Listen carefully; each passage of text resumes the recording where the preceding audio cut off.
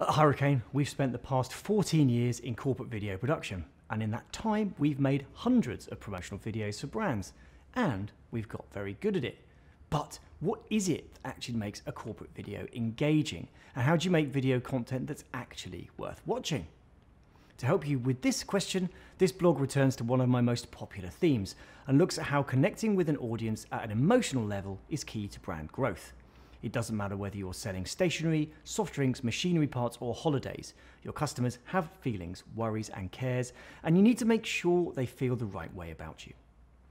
We are going to explore how emotion can be used to create more effective corporate videos and brand promos. Firstly, we will look at why emotion drives behavior change, especially in video, and why this is key to brand growth. And then we move on to look at how you can develop and roll out more effective content built around an emotional connection. So let's start with section one, why emotion works and how to use it. Humans have evolved storytelling and listening to emotional stories from the very first cave paintings to scary narratives of monsters around the campfire. It's how we've always communicated and understood the world around us. Indeed, when humans see or hear a story, a lot of things happen. Firstly, our brainwaves change, the amygdala and hippocampus kick in to remember things. Our language centers spark up, ready to understand the world, and our brain is flooded with neurotransmitters and hormones like vasopressin, serotonin, endorphins, oxytocin, and the one I've talked a lot about before, dopamine. These chemicals cause emotion to kick in, which hijacks our cortex, making us forget about using our observant, considered judgments. Instead, we move to a reliance on emotional decision making. Just to illustrate how content sparks emotion, let's run a quick test. Take a moment to think how you feel now. Which part of you is working to follow this blog? Is it your brain or your emotions? How does concentrating feel? And how would you describe your emotions right now? Got it? Now watch this video and come back to the blog.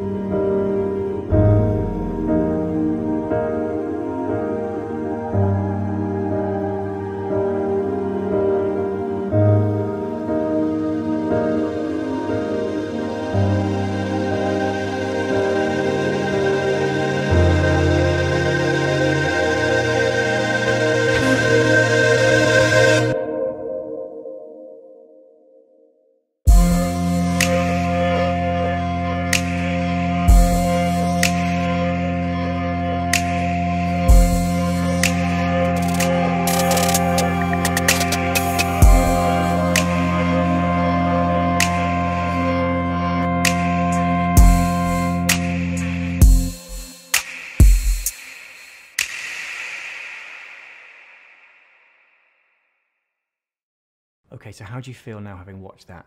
How did just 92 seconds of video totally change your mood? Well, what happened? Well, you had an emotional response, probably one best summed up as distress and empathy.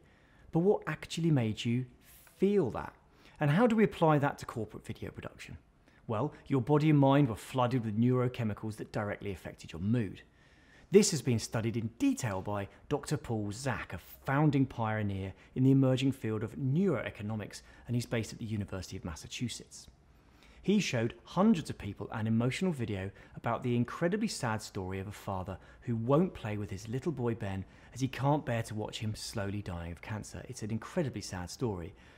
Dr. Zak closely monitored the neural activity of hundreds of people who viewed Ben's stories, and he went on to prove that the emotional video triggered hormonal responses. What's more, he went even further and demonstrated that neurochemicals not only changed our mood, but changed our behavior. I'll let Dr. Zak explain his own findings in this clip. So, in my laboratory, we've studied this story extensively And what we found is that two primary emotions were elicited. One is distress, and the other is empathy. At the same time, when we asked people what they felt after the story was over, we really couldn't get very clear answers. So we began doing other studies on this story. So we took blood before and after, and we found that the brain produced two interesting chemicals. One is called cortisol, which focuses our attention on something important. So, cortisol correlated with our sense of distress. So, the more distress you felt, the more cortisol you released, and the more you paid attention to that stimulus. The second chemical release is called oxytocin, which is associated with care and connection and empathy. And oxytocin was correlated with people's sense of empathy. And the more oxytocin they released, the more empathic they felt towards Ben and his father. Now, we did something different after this experiment.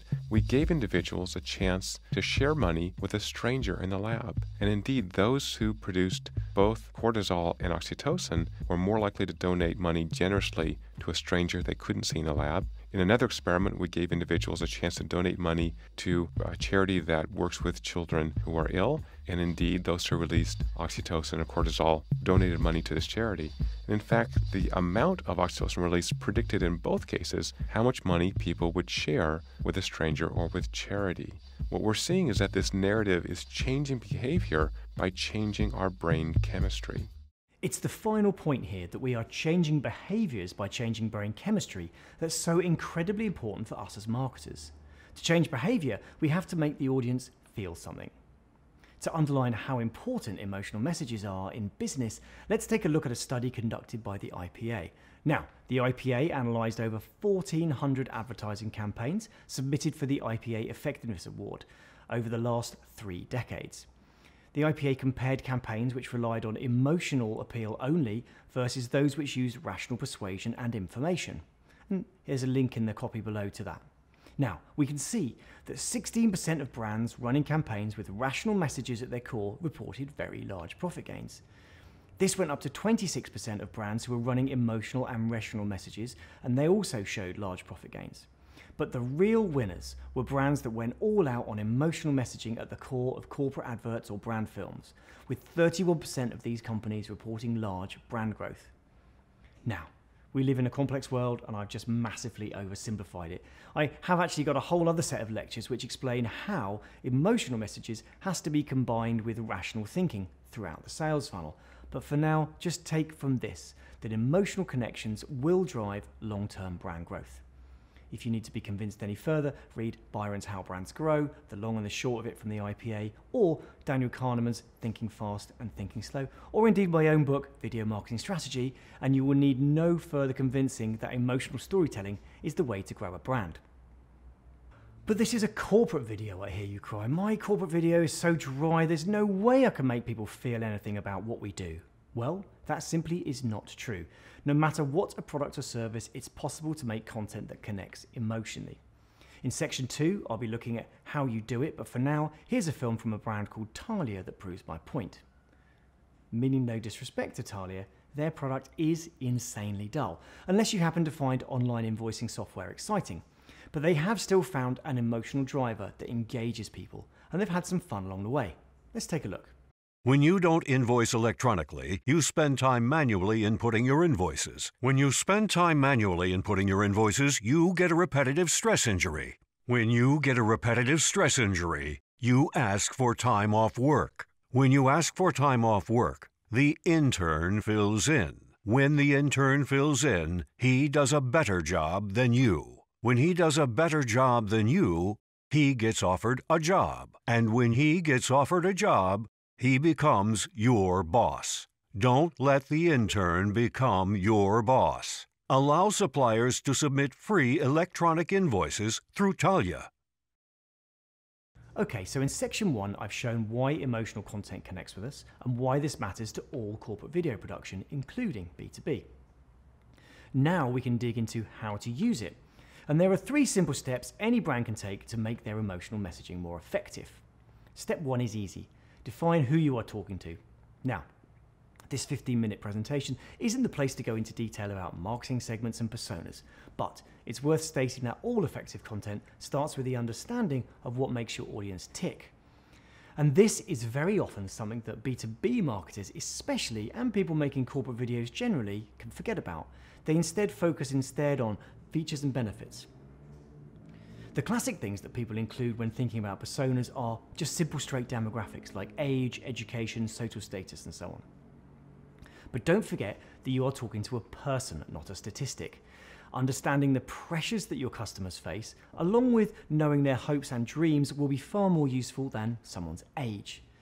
So, to be more effective, revisit your target personas as soon as possible and be more human. What is it that these people are genuinely worried about? As inspiration, think back to the Talia film, which understood that they were talking to an audience that might be worried about losing work to someone more efficient. Once you have an understanding of your audience, we can move on to step two, which is emotional drivers.